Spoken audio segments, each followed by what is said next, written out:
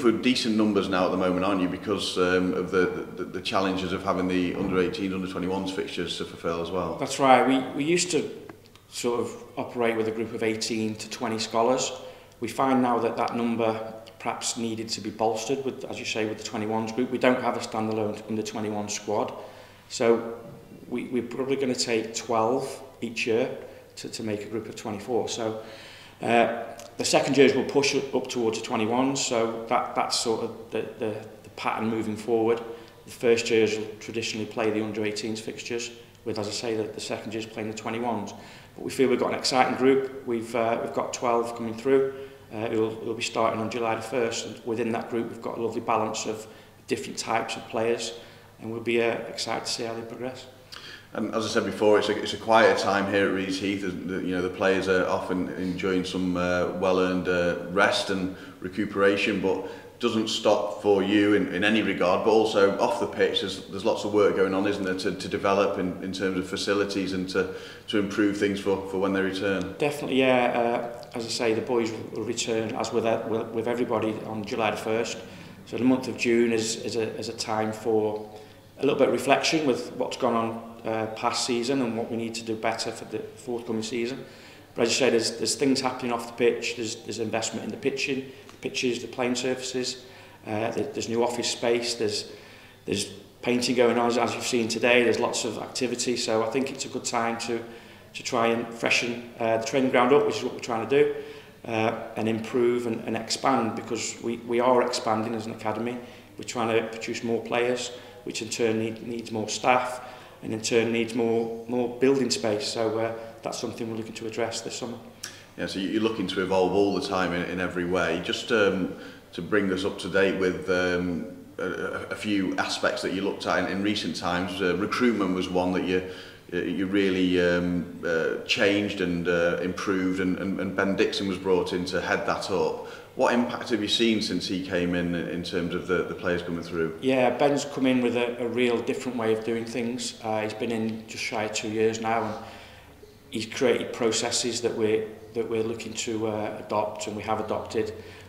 One thing he has done is uh, he's implemented an emerging talent centre, which is sort of a group below the academy, which I guess rather than boys coming straight in on trial, it's a way of, of sort of assessing the boys before that happens.